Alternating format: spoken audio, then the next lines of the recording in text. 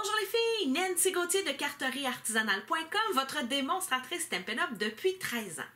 Aujourd'hui, je vais vous donner un truc en utilisant du papier cache pour vous aider à mieux travailler avec vos étampes amovibles. Alors, comme plusieurs le savez, Stampin' Up a changé les autocollants qu'on utilisait pour venir adhérer les étampes sur les blocs d'acrylique. Alors, avant, ils n'étaient pas autocollants. Alors, je trouvais que ça collait pas bien. Alors, je ne les mettais pas, mes autocollants. Mais là, regardez bien, ça colle même sur un doigt. Alors, quand vos étampes sont en anglais, ça va être marqué Cling Stem Set. Et quand ils sont en français, ça va être marqué Amovible. Alors, jeu d'étampes amovible. Le problème, c'est qu'ils sont rendus tellement collants. En fait, ils ont changé. Vous allez voir, la couleur du petit caoutchouc gris ici, de la petite mousse grise, a changé. C'est pas la même sorte de mousse grise. Et là, l'autocollant est tellement collant que si ça fait plusieurs semaines que vous avez posé vos autocollants, vous les avez mis dans votre boîte de caoutchouc, quand vous allez venir pour les retirer, votre mousse grise risque de se déchirer si vous n'y allez pas délicatement puis avec vos ongles. J'ai trouvé une solution. Alors, j'ai collé un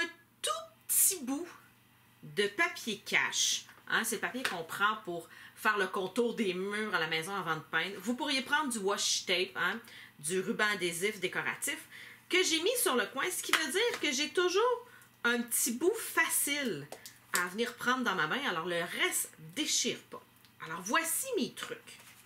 Je vais venir prendre un jeu tout nouveau, alors j'en ai juste deux de coller.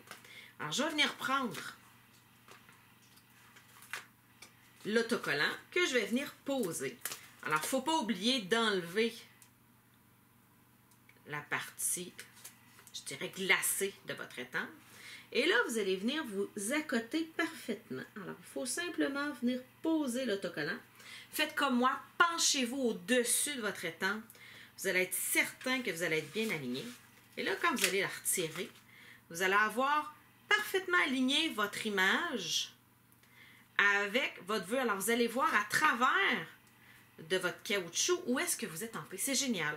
Mais quand vous allez arriver pour l'enlever, si vous n'avez pas d'ongle, pour aller chercher le coin de l'autocollant, ça risque de déchirer. Alors, regardez bien, vous prenez un petit bout de papier. Vous venez le mettre dans votre petit coin. Et là, avec vos ciseaux, vous venez enlever l'excédent. Quand vous allez l'avoir sur votre bloc d'acrylique, vous allez bien voir ce que vous êtes OK? Il va juste vous manquer un petit, petit, petit morceau. Alors, ça va très bien étamper. Et ça va aussi très bien se récupérer. Voyez-vous comment ça colle? C'est Le bloc d'acrylique veut venir avec. C'est extraordinaire, le nouvel autocollant. Ils vont super bien les étendre. Petit truc. Une fois que vous allez avoir fait votre jeu d'étanque au, au complet, il va vous rester la feuille vierge. Gardez-la.